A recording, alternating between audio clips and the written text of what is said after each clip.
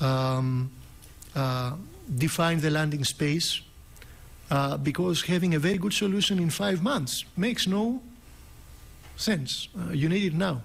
It's better to have a, um, a slightly worse solution now than have a better one in five months time.